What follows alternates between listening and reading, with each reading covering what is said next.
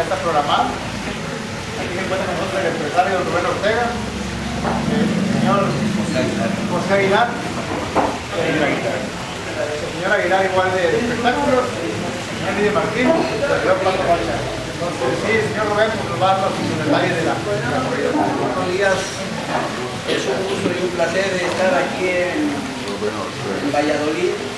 Eh, es una población que yo siempre he identificado como ejemplo, una de las mejores ferias que se hace en el estado, sobre todo en los taurinos. Aquí el señor Didier y el Guino siempre han tenido eh, el cuidado de la fiesta de los toros. Tiene que tener dignidad, tiene que tener eh, este, verdad, no engañar al público y yo creo que ellos, ellos llevan la feria bastante. Nosotros llevamos a Pablo el viernes 11 a las 8 de la noche a Villahermosa, Tabasco.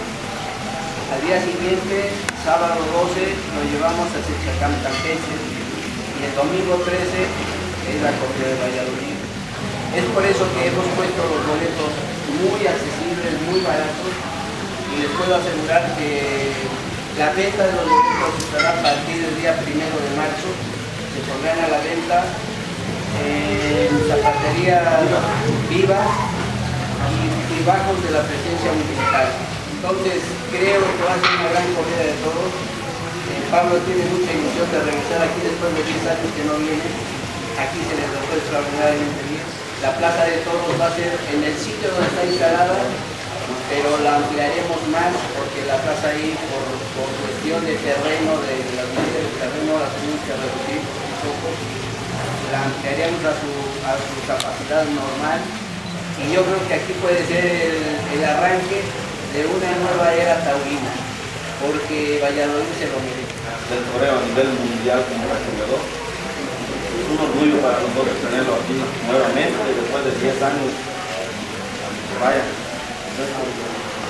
Vamos a ver para que nos gusta, por amor a los ¿no? Eh, primero todo tiene que, recubrir, que, que cubrir su edad reglamentaria entre 4 y 5 años, que no pase de 5 ni menos de 4, es un toro adulto. Luego, que se sepa de qué ganadería son, si hay algún cambio de ganadería que se anuncie en un cartel en la plaza. Están ahorita en el plan todos de golondrina. Me gustaría a mí traer los toros unos dos días antes para que los viera el público. Voy a ver si, si, si me es posible traer corrales para exhibir los toros. A mí me gusta mucho que el aficionado que va a comprar su boleto, que vaya a ver me va a tener. Por eso es que es importante en el sureste que podamos contar con más ganaderías para, para no tener toros. Yo traigo los toros estos de Golondrina, vienen desde Laredo. Así es que imagínense, vienen de punta a punta. Son casi 3.000 kilómetros. Como la, ya saben que yo soy de Monterrey, pero ya, ya ahora sí ya soy más de, de Valladolid que de Monterrey.